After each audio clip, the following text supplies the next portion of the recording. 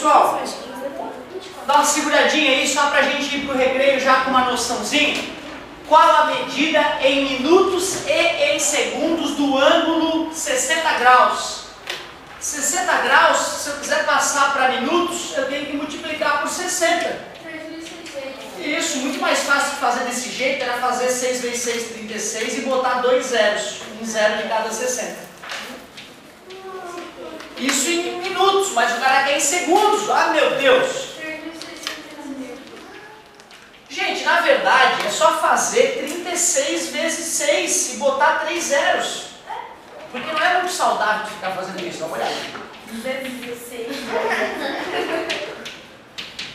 Não, cara, isso não faz bem para a saúde. Faz assim, faz 36 vezes 6. 6 vezes 6, 36, foi 3. 18, 19, 20, 21. E aí conta, ó, isso sim é saudável. 1, 2, 3, 1, 2, 3.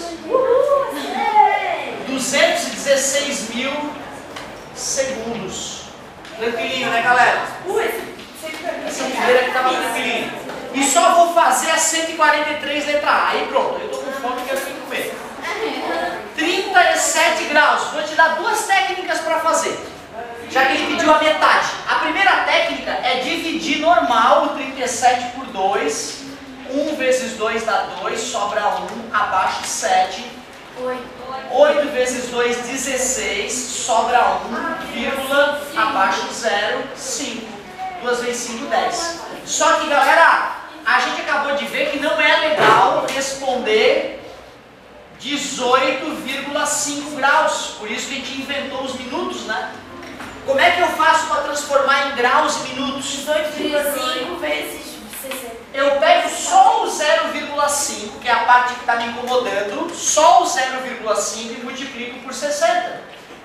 Como a gente viu, não precisa se incomodar com zero. 6 vezes 5, 30. bota o zero dá 300 e bota a vírgula do 0,5 dá 30. Quer dizer que 18,5 graus é o mesmo que 18 graus e 30 minutos. Era assim que era para responder. Não gostei, professor. Outra técnica então, outra técnica. 37 dividido para 2. Vê se tu gosta dessa.